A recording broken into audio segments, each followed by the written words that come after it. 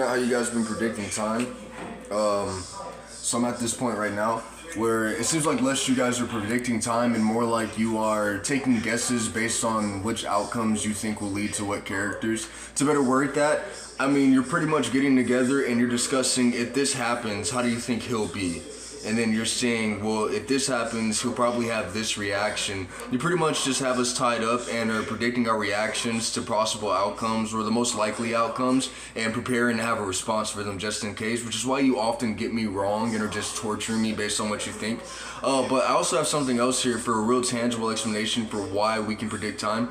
Uh, that bubbled up in my mouth. I'm gonna kill every guy that takes that as a jizz.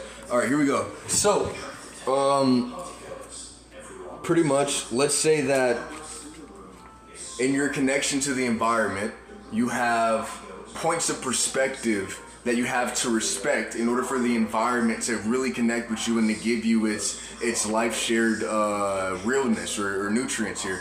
And and so let's say somebody only has three points of connection, and this simplifies all the possible points of, of perspective here. They only have three points of perspective.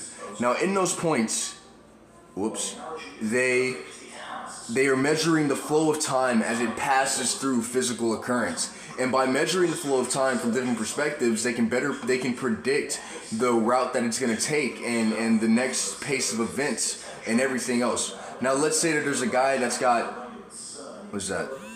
Nine nine possible connections that are just simplified perspectives the simplified number of perspectives available. Now, the more perspectives he has to measure the flow of time, the better his prediction of what's going to happen next is. And not only that, but the better his connection to life itself and all possible constructs hosting physical existence can better guide him in his behavior. Uh, oops. Okay. So, here, let me. Whoops. What's this? Uh, oh, I found the point at which none of you know what's going on. That's what this shit is right here. Holy fuck, that's crazy. Okay.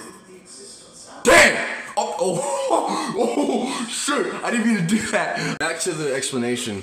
So let's say that each person has a radius of expected or predictable time, and let's say that we can represent that radius as a as a square here. And let's say that four people get together and they connect their four radiuses of time into a single construct uh, uh, that can be gridded out and represented. So let's say just two people connect at a single point and they go down and one of them goes horizontal. One of them representing the horizontal, one of them representing the down. We can graph out their prediction of time as an actual surface area that has a number of grids that can be placed, uh, that have placements and coordinates.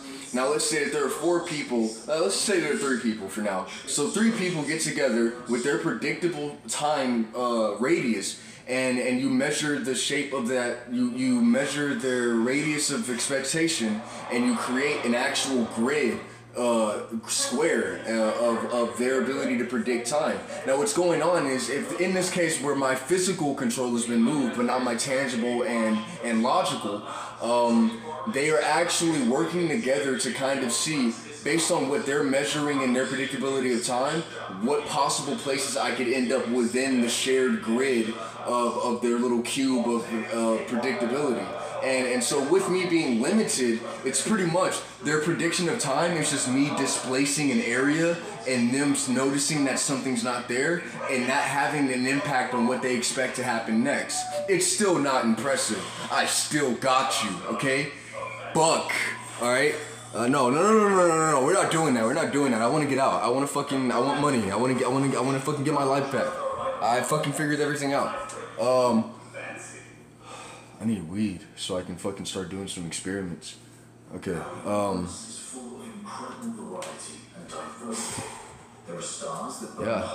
Yeah. So, uh. Yeah, I'm gonna get back to it. Sorry, I didn't mean to do that. I was, uh, I was catching y'all's reaction to dying there. Hmm.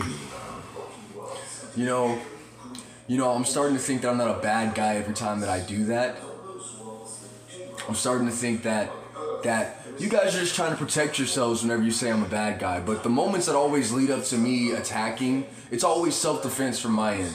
You guys are always like, Haha, we're doing something you can't say, and you'll never be able to catch us. You can't do anything about it, bitch. Fuck you, bitch. And then, and then whenever I'm like, all right, I figured it out. I'm gonna kill you. You're like, that's a bad person. No, we have the right to defend ourselves. Now that's horrible. Look at what this guy's doing. Look at no, you don't need to ask any more questions. Just look at what he's doing. yeah. So I'm ready. I, this is really why I I, uh, I isolate for the most part. Uh, cause um, cause you know people be lying and shit. And, uh, and then whenever you have to survive in their control state, they be forcing you to lie so that you can't call them out for being a liar. And then, you know, all that shit. I'm gonna find a way. Bye, guys.